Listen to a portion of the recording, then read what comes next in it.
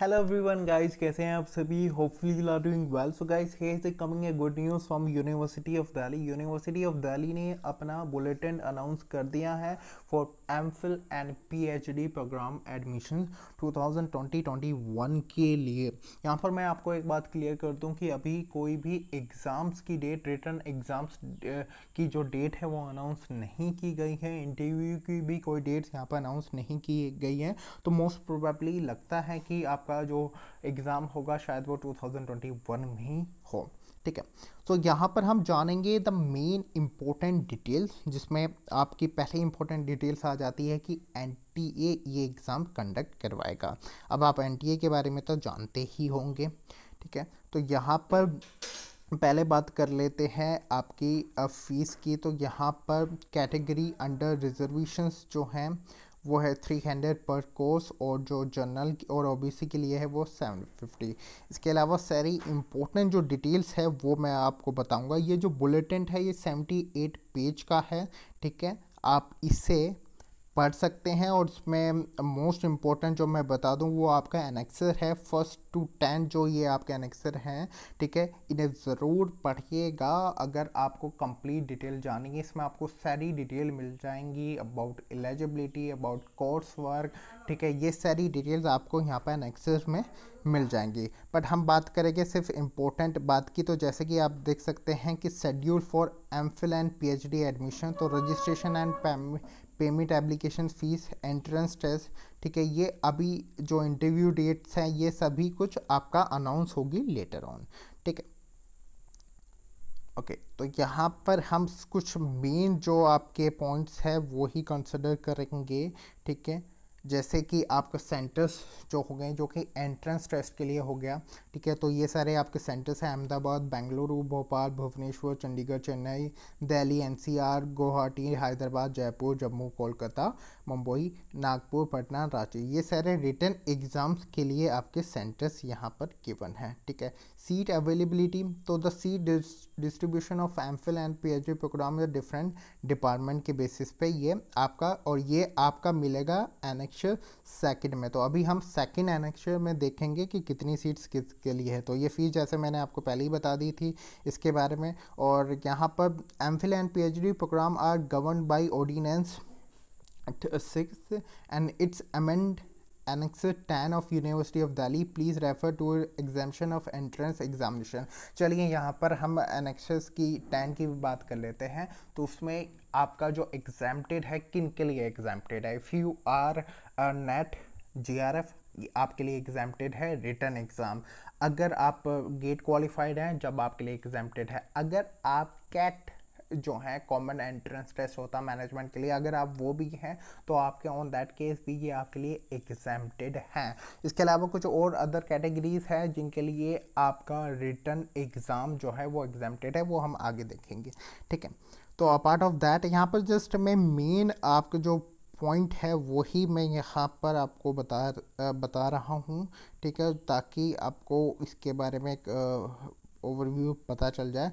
एनेक्सिस देखते हैं अब हम यहाँ पर डायरेक्टली तो यहाँ पर जो फ्रिक्वेंटली आक्स क्वेश्चन है, ये काफ़ी इंपॉर्टेंट हो जाता है। आप पढ़ लीजिएगा।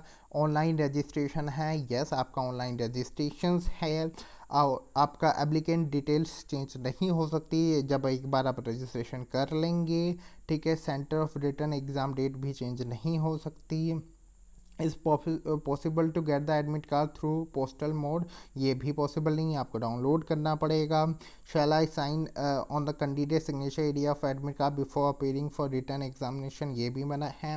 Can I submit the fees through any other mode ये नहीं, आपको ऑनलाइन ही यहाँ पर फ़ीस सबमिट करनी पड़ेगी। What is the what does the final aggregate mean the updated result for merit merit के बेसिस पे जो रिज़ल्ट आपका आएगा यहाँ पर तो final merit is a combined total of all M A M Com M S C equivalent जो भी आपके सेमेस्टर्स एनुअल होगा, उसके बेसिस पे फाइनल एग्रीगेट होगा। I have uploaded the final aggregate percentage which has been accepted but when I was आक्स to print form it still read result awaited देखिए, यहाँ पर final aggregate on what cases तो final aggregate का मतलब है कि जो आप एग्जाम्प्टेड रहेगा सपोज़ आपका जो एग्जाम्प्टेड रहेगा, अगर आप नेट या जी हो तो आपका जो इंटरव्यूज़ प्लस आपके यहाँ पर जो आपका पोस्ट ग्रेजुएट है, उसके भी सेमेस्टर वाइज आपके जो एग्रीगेट है, वो यहाँ पर ऐड किया जाएगा। उसके बेसिस पे आपको सीट मिले या नहीं मिलेगी, वो डिसाइड होगा। ठीक है तो फाइनल लिस्ट में वो डिसाइड होगा तो ये भी थोड़ा इम्पोर्टेंट हो जाता है। इसे के बारे में आप पढ़ लीजिएगा और बाकी सम अदर डिटेल्स हैं। ठीक है, अब यहाँ पर बात आ जाता है कि किन डिपार्टमेंट्स के लिए ये आपका अवेलेबल है? यानी कि किन कोर्सेज के लिए आप अप्लाई कर सकते हैं? तो आर्ट्स के लिए है यहाँ पर, ठीक है? एम की बात कर रहा हूँ। यहाँ पर मैं कॉमर्स एंड बिज़नेस स्टडीज़ के लिए हैं, ठीक है? Education fine arts social science ठीक है? साइंस ठीक है? ये सारी चीज़ें। अगर पीएचडी की बात करें तो arts applied science commerce business studies education law mathematical science social science ये सारे सब्जेक्ट्स हैं आपके। और अपार्ट ऑफ़ दैट अब बात कर लेते हैं सीट्स की। तो कितनी सीट्स है? तो आर्ट्स में जिसमें अरेबिक बुद्धिस्ट स्टडीज़ ये सब आ जाते हैं। लिंग्विस्टिक्स ठीक है? तो इनकी सीट्स आपकी यहाँ पर गिवन हैं। ठीक है? पर्सियन फ़िलासफ़ी पंजाबी ये सारी सीट्स आप यहाँ पर देख सकते हैं। अगर कॉमर्स एंड बिज़नेस स्टडीज़ की बात करें तो आपका पीएचडी में, यहाँ पर सॉरी एम में नॉट पीएचडी एम में आपके 29 सीट्स हैं।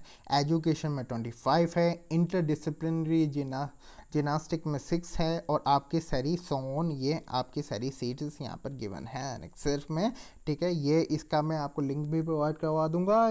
आप चाहे तो ऑफिशियल वेबसाइट पर जाकर भी डाउनलोड कर सकते हैं। अगर हम बात करें पीएचडी प्रोग्राम में कितनी सीट्स हैं आपकी तो यहाँ पर डिपार्टमेंट्स आर्ट्स आ जाता है तो जैसे अरेबिक थ्री बुद्धिस्ट सेवन सोन ये आपकी है संस्कृत ट्वेंटी ठीक है?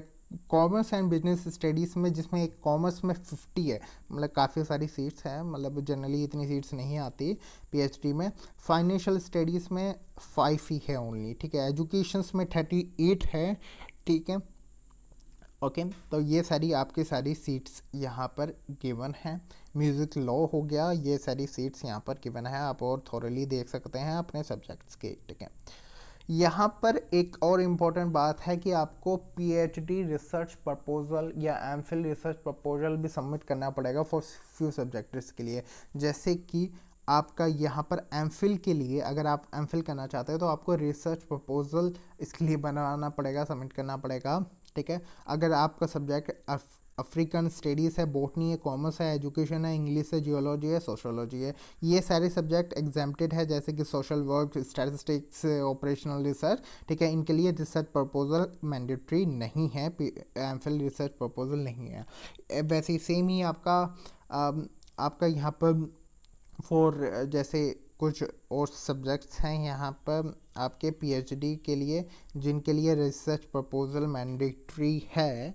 पीएचडी रिसर्च प्रपोजल मैंडेट्री है, वो है adult continuing educations African studies Arabic botany commerce computer science education English economic finance business economy इन सभी के लिए आपको रिसर्च प्रपोजल देखना एनेक्सर फाइव है ये भी याद रखिए आप इसे देख सकते हैं और डिटेलिंग में ठीक है? ओके okay, तो एलिजिबिलिटी का अगर हम बात करें तो अलग अलग एलिजिबिलिटी है। जनरली अगर मैं यहाँ पर बात करूँ एलिजिबिलिटी की तो suppose if I take the commerce तो कॉमर्स में आपका कॉमर्स एंड बिज़नेस स्टडीज़ में आपका 55 परसेंट होना चाहिए। यहाँ पर अगर आप एम कॉम है तो जब भी है एम आई बी अगर आप एम बी है तो even you can also apply for it और यहाँ पर अगर सपोज़ आप पी जी डी एम है post graduate diploma in management या कुछ ऐसी आपके पास अदर डिग्री है तो उसके लिए इक्वलेंट्स के लिए आप एसोसिएशन ऑफ़ इंडियन यूनिवर्सिटी या दिल्ली यूनिवर्सिटी या किसी भी अदर कंपिनेंट अथॉरिटी से आप ये रिलेवेंट इक्वलेंस सर्टिफिकेट ले सकते हैं तो जब भी वो आपका वैलिड हो जाएगा। फिर अलग अलग एलिजिबिलिटी क्राइटेरिया यहाँ पर गिवन है ये आप देख सकते हैं ठीक है? ओके सो so, अब हम यहाँ पर बात करेंगे कि जैसे आपका पीएचडी के लिए हो गया वो आंसर के लिए था ठीक है? तो ये अलग अलग सब्जेक्ट्स के लिए यहाँ पर गिवन है ठीक है? वो आप यहाँ पर देख सकते हैं ठीक है? ये एनेक्सिस काफ़ी इंपॉर्टेंट हो जाते हैं। सारी डिटेल्स आपको यहाँ पर मिल जाएँगी, ठीक है? अब हम बात करते हैं list of university and hostel जो कि इतना इम्पोर्टेंट नहीं है, आप चाहे तो इसके बारे में देख सकते हैं, ठीक है? ओके तो यहाँ पर अब हम बात करेंगे एग्जामेशन किन के लिए है। इन दैट केस अगर आप एग्जामिशंस रिटर्न एग्ज़ाम से किन के लिए हैं, ठीक है? इनकी बात हम करेंगे। ये सब और बेसिक डिटेल है। आपको अगर डिटेल में पढ़ना है तो आपको ज़्यादा टाइम नहीं लगेगा। अराउंड मुझे टू आवर्स लगे थे इन सभी डिटेल्स को पढ़ने में। तो आप भी को भी इतना ही टाइम लगेगा इन सारी डिटेल्स पढ़ने के लिए। तो ये कोर्स वर्क की डिटेल्स यहाँ पर गिवन है आपकी। ठीक है? एलिजिबिलिटी सॉरी ये सुपरवाइज़र के लिए हो गया। ठीक है रिसर्च एडवाइजरी कमेटी हो गया। आई थिंक हमारा जो एलिजिबिलिटी क्राइटेरिया है, वो ऊपर ही हमारा रह गया है, जो एग्जामटेड क्राइटेरिया है। ठीक है तो एलिजिबिलिटी क्राइटेरिया पे यहाँ पर देखिए आप। ठीक है तो मास्टर डिग्री इन प्रोफेशनल जो भी आपका है एम टे M tech L L M M D M S जो भी आपका है, यहाँ पर एग्जामटेड की बात करें तो this point are very important हो जाते हैं, जिसमें से आपका है candidate who have qualified U G C including J R F U G C C S I R net J R F D B T J R F I C M R GRF R F और equivalent national level examination fellowship as identified by the teacher fellowship holder may directly appear for interview. वो सभी आप directly appear कर सकते हैं interview इसके अलावा teacher who are in service of university of Delhi may directly appear for interview अगर आप फैकल्टी हो, ठीक है दिल्ली यूनिवर्सिटी में या किसी भी कॉलेज ऑफ़ दिल्ली यूनिवर्सिटी के तो आप डायरेक्टली अपेयर कर सकते हैं. आपके लिए भी यहाँ पर एग्जेम्प्टेड होगा।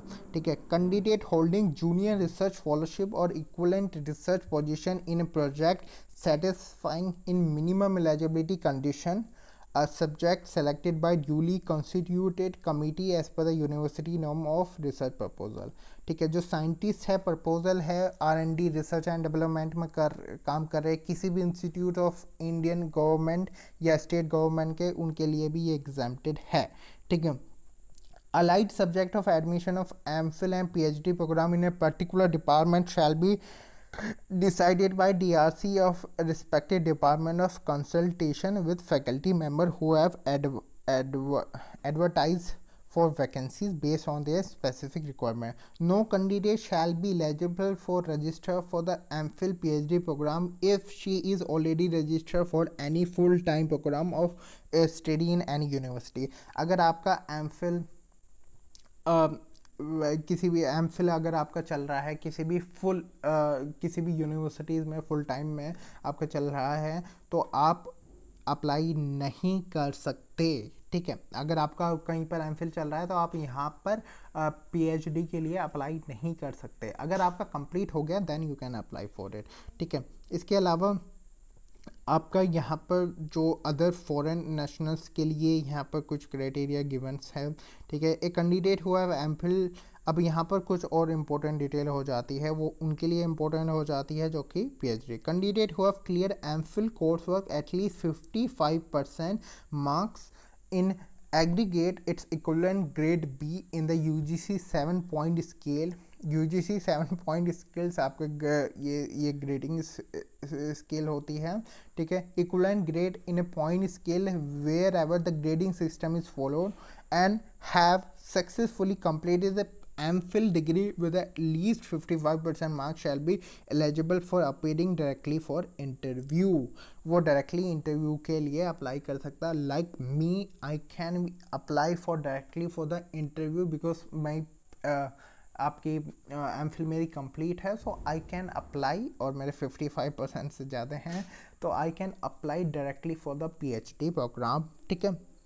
देन आपका आ जाता है कैंडिडेट हो of clear course work of M Phil अब ये पॉइंट बहुत इंपॉर्टेंट है। कोर्स वर्क अगर आपने कंप्लीट कर लिया है from university of Delhi with at least 55% marks in aggregate may directly appear for interview of uh, to PhD ये काफ़ी अच्छा पॉइंट है। अगर आप एम फिल कर रहे हैं दिल्ली यूनिवर्सिटी से तो आपका अगर कोर्स वर्क, जो कि आपका सेमेस्टर वन या टू में हो जाता है, ठीक है जनरली तो वो आपका अगर कंप्लीट हो गया है तो आप जब भी इंटरव्यू में के लिए अप्लाई कर सकते हैं विदाउट कंप्लीटिंग एम फिल और ये सिर्फ़ उनके लिए है। It's only for those who have appearing MPhil from Delhi universities. ये पॉइंट याद रखेगा। A candidate who have MPhil dissertation dissertation has been evaluated and visa is pending may be appear directly for the interview of the PhD program तो उनके लिए ये सारे आपका वो भी जिनका वाइसा वॉइस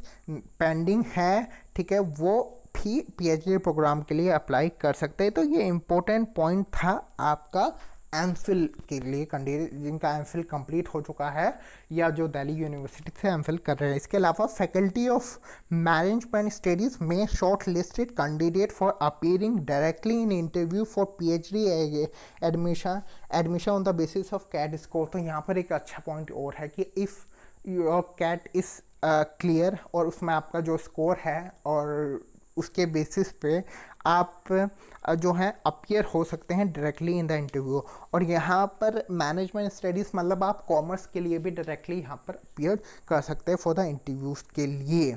ठीक है? तो ये सारी डिटेल्स थी. अगर आपको ब्रीफ में सारी डिटेल्स जाननी है तो ये पीडीएफ आपको प्रोवाइड कर दिया जाएगा, ये bulletin so guys thank you very much to watch out this session